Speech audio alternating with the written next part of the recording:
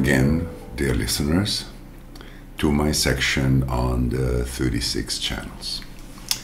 And today we come to the third and last of the so called social channels, where the theme of aloneness plays a most important role in the development and in the empowerment, in this case, of the individual spirit.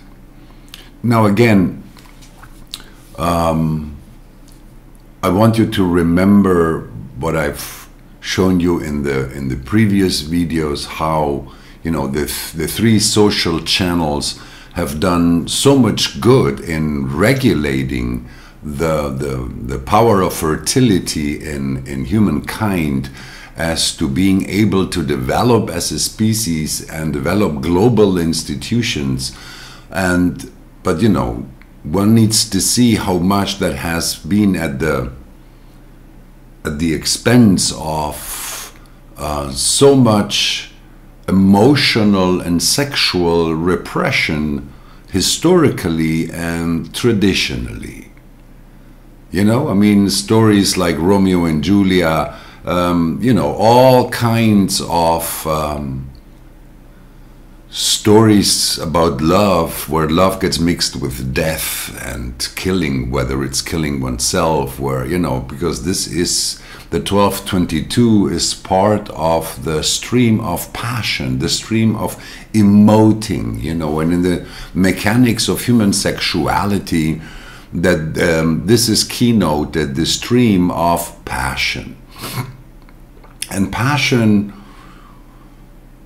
well, you know, passion is deeply individual in the sense that when you look at these people from the outside, you wouldn't necessarily guess how passionate they can be because after all this is the the only social, social the only social channel that is a manifester channel and you see, the, for the manifester, everybody is a stranger. You know? The manifester himself is an outsider. You know, he's open to strangers, but only within caution, you know, without losing its foot, without losing its, its position, without compromising its own individual pathway. You know, that's why the 36, 35, you know, ends up being, you know, uh, perceived as a potential threat, as a potential destabilizing force, as a force that brings chaos. Now, in the 1222, we have a rather civilized emotional manifester. And here we need to recall that this stream of emoting, that, you know, this stream as part of the knowing circuit that has the channel of mutation as a format, that this is where the most important mutations in the cognitive orientation of our species have taken place. The first one about a hundred thousand years ago when the larynx of, of, of of a hominid mutated and we lost the ability to breathe and drink at the same time, and instead our vocal chamber opened up and we became capable to articulate sound. It is said that in the beginning was the word, in the beginning was sound.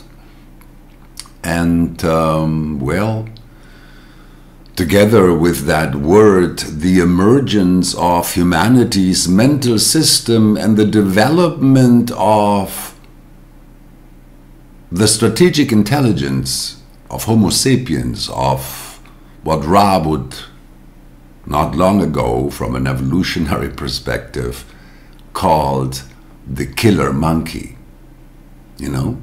Because after all, this ability to be the best killers in, in nature is what enabled us to climb rather fast to the top of the food chain. And uh, well, we developed all kinds of knowledge and tools and stuff until in 1781 the discovery of Uranus broke a crack in the walls of the reality of Homo sapiens, and Homo sapiens became aware of how much of its pretended knowledge, you know, was basically just based on dogmas. You know, and the emergence of Uranus obliged, you know, all scientific statements to be reviewed. In other words, that in